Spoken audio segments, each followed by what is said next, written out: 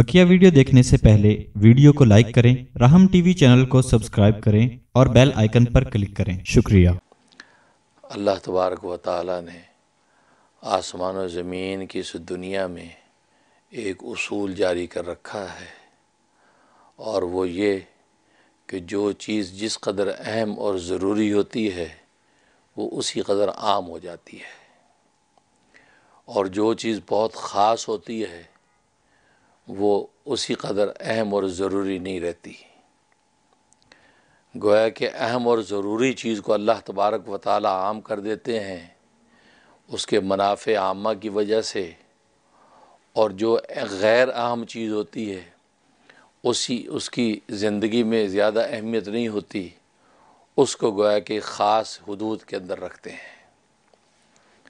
और ये असूल न सिर्फ़ तकवीनी है बल्कि तशरी भी है। तकवीनी का मतलब कि शब रोज़ की ज़िंदगी के अंदर और इस कायनात के अंदर वो असूल जारी और सारी है कि जो चीज़ अहम है, वो आम है और जो गैर अहम है, वो आम नहीं है। मसलन अनास अरबा में से आग, पानी, हवा, मट्टी, जिस पर यह कायनात खड़ी नज़र आती है, आग, पानी, हवा, मट्टी से इंसान चलता फिरता नज़र आता है। तो ये अनासर अरबा हैं कि जो पूरी कायनात को लेकर चलते हैं। कहीं आग है, कहीं पानी है, कहीं मिट्टी है, कहीं हवा है, इनको अनासर अरबा कहते हैं। और अनासर अरबा के मजमू का नाम ये कायनात और दुनिया है।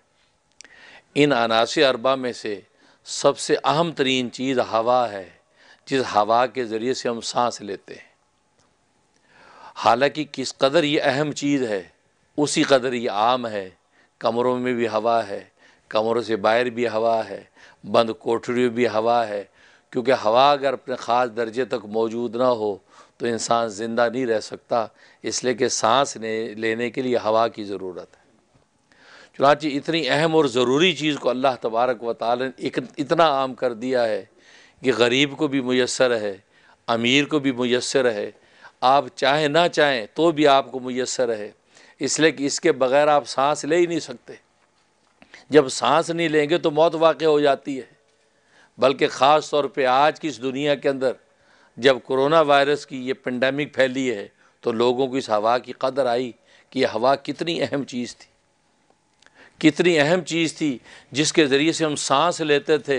हालाँकि हमने खाने को नेमत समझा, पीने को नेमत समझा, मकानों को नेमत समझा दुकानों को नेमत समझा, ये जो शब रोज़ हम सांस लेते हैं, हमने कभी सोचा भी नहीं कि सांस बहुत बड़ी नेमत है। कि सांस अंदर जाता है, सांस बाहर आता है। हमें, हमारा ख्याल भी कभी नहीं किया, यार ये बहुत बड़ी नेमत है जो हम सांस लेते हैं। ये उस वक्त पता चला जब दुनिया के अंदर कोरोना वायरस फैला और ये सांस जब रुकने लगा तो लोगों ने सोचा कि सबसे बड़ी नेमत तो सांस है। ये चंद सांस अंदर जाते हैं, चंद बाहर आते हैं, ये कितनी बड़ी नेमत? उसके लिए लोगों ने दौलतें लुटा दी। क्या कुछ नहीं कर डाला। लेकिन अगर किसी का सांस अंदर गया और बाहर नहीं आया तो मौत की घाट उतर गया। मसनू आलात लगाए गए, ऑक्सीजनें दी गई। नहीं, वो जाम बर हुआ, दुनिया से चला गया। तो पता चला कि यह हवा इतनी बड़ी नेमत है, इतनी अहम इंसान की ज़िंदगी के लिए इसकी कोई नज़ीर नहीं है, और अल्लाह तबारक व ताली ने उसको उसी कदर आम कर रखा है। हवा बिकती नहीं है मुफ़्त में मिलती है। हाँ आलात हवा बिकते हैं, पंखे बिकते हैं और पंखे हवा पैदा नहीं करते। ये पंखे साकिन हवा को हरकत में लाते हैं। उससे फिर हमारे अंदर सहूलत पैदा होती है सांस लेने में। गर्मी जी दूर होती है, एक ख़ास बरूदत महसूस करते हैं। तो ये पंखे हवा पैदा करने के आले नहीं हैं। ये हवा, जो साकिन हवा, उसको मुतहरक करके आप तक पहुंचाते हैं और आप फिर सांस आसानी से लेते हैं, आप ठंडक महसूस करते हैं, गर्मी और हरारत की कमी महसूस करते हैं तो आपको सहूलत आराम मिलता है।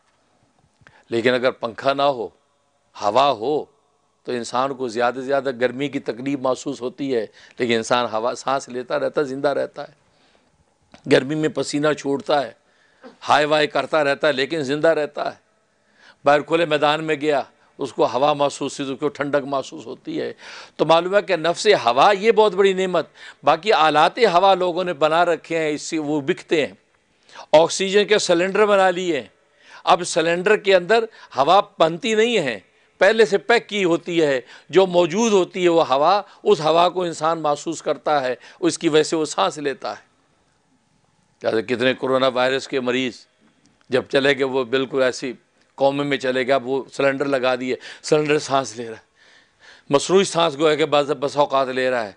तो या थोड़ा बहुत सांस है तो उस खारजी हवा से उसको तो मालूम है हवा इतनी बड़ी नेमत है और इतनी अहम इंसान की ज़िंदगी में कि इसके बगैर चल नहीं सकता है। और इंसान ये बग़ैर इरादे के सांस लेता है।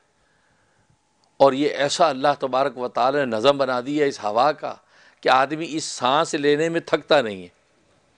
ज़िंदियाँ गुजर जाती हैं, इंसान सांस लेते थकता नहीं है, सोते सोते थक जाता है, खाते खाते थक जाता है, पीते पीते थक जाता है, चलते चलते थक जाता है, बोलते बोलते थक जाता है, देखते देखते चलता थक जाता है, सुनते सुनते थक जाता है, ज़िंदगी के हर शोबे में उठा के देखे, वो उसको अगर इख्तियार करते एक लिमिट के बाद थक जाता है और कहते यार, मैं बहुत थक गया हूँ अरे दो चार घंटे मुझे सोना है।